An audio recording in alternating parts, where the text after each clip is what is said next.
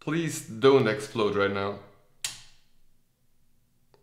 Oh, I'm not dead. So today I wanted to do another really stupid thing. What I have here is the Argus 720 watt power supply from Inter-Tech. Just a random PSU without cable management, nothing fancy, not even black cables. But what is special about it is the price, something around 30 bucks. And a feature that usually comes with such a price is a extremely cheap fan. Now, this power supply is not particularly loud compared to the stuff you'll get on AliExpress, but it is still really hearable. Now, if you find yourself in a situation where you have a PSU that is extremely loud, maybe even OEM stuff, and you don't have a 60, 70, 80 euro budget to spend on a new high-end device, maybe you have a 20 euro budget to buy a fan. So what I will try today is take this cheap ass power supply, crack it open and try to somehow fit this Noctua NF-F12 in there. But before I will do that, we will short out the 24 pin and try to record the actual noise it emits with the mic and with this little... And with this little dB meter, even though I would trust the mic way more than this little thing.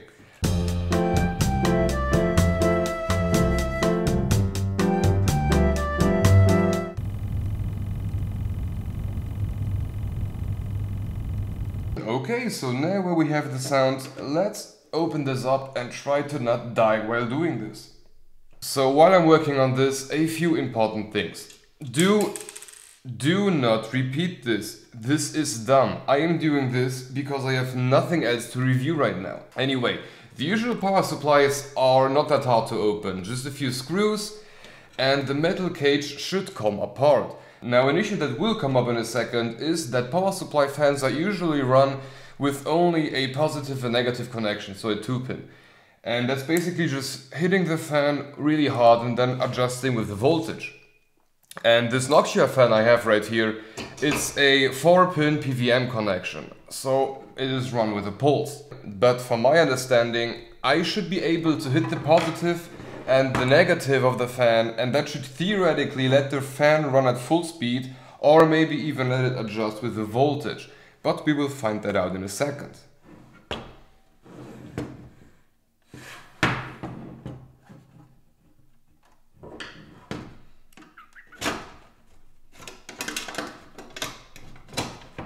Now, if this doesn't work for obvious reasons, I still have a Be Quiet Silent Wing 2 3 pin, so whatever happens, this should work.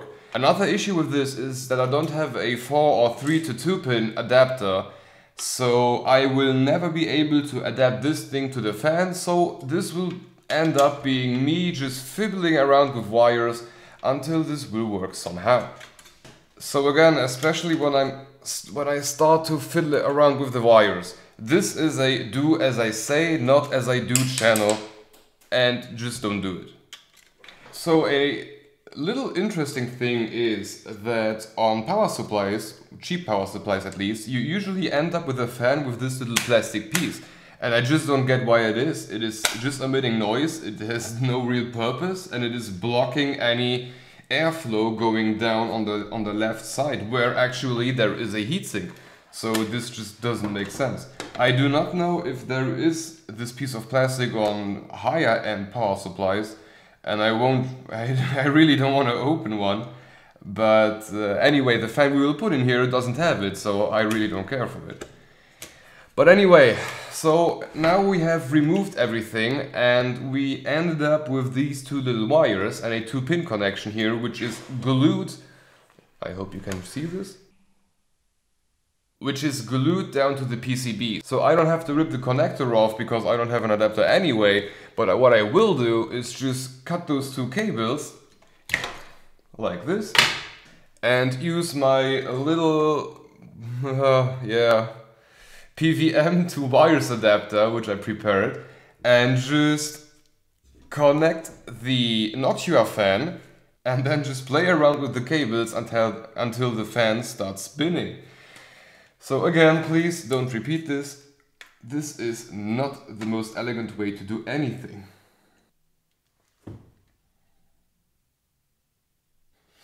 Okay, everything is set up. Let's start the power supply again. And I just cannot repeat this enough. Do not do this. Open power supply and then fiddling around in it is, is such a bad idea. But we were doing this for science, so I really don't care.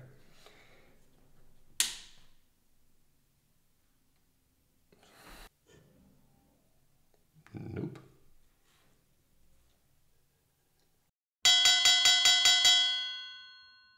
We have a winner!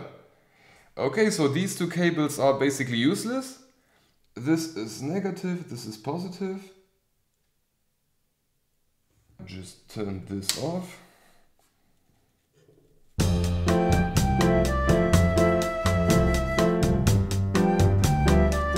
Okay, so I found everything and now I would usually I would solder these together, but unfortunately I have nothing to solder right here in the studio.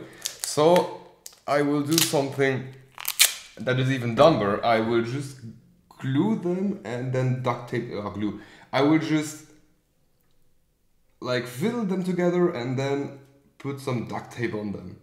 Which is really the worst way of doing this, but I don't have anything else right now, so this will have to do it.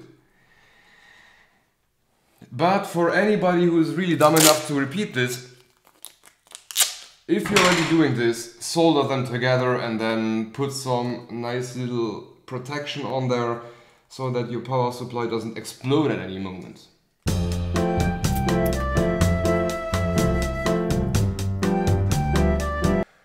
Okay, everything is wired up.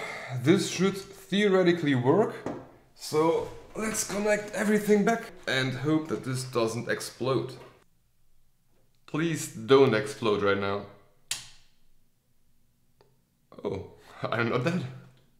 Okay, so now I'm still alive, let's shut this off and put it back together and then do another sound test.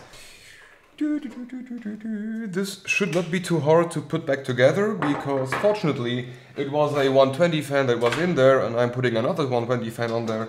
So perfect match right away.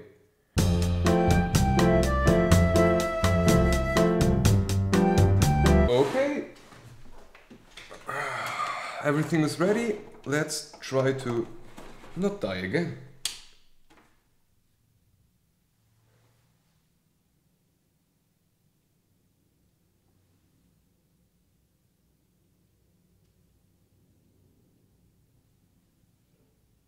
Okay.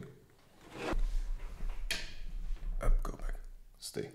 So, I would really love to show this in numbers, but unfortunately I did not read the dB meter output at the time, so I will just put the two decibel amounts on the screen here we will have the original and here we will have the new one. But what I'm able to do is give a perception on what do I hear. And I'm not hearing anything at all. Anyway, even though these numbers are nice to have, I do not trust them. So let's play both sound files again.